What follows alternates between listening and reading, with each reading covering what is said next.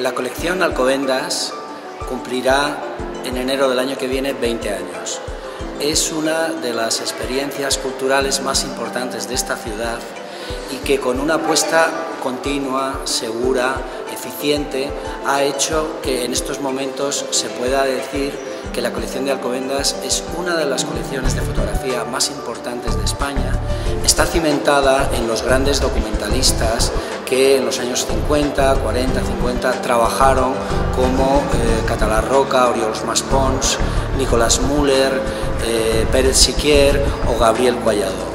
Estos padres del documentalismo son los que confieren de alguna manera en los cimientos de esta importante colección. La importancia de la colección de fotografía de Alcobendas es tan grande que no solamente se queda aquí en el centro, sino que itinera eh, tanto a España como fuera de España.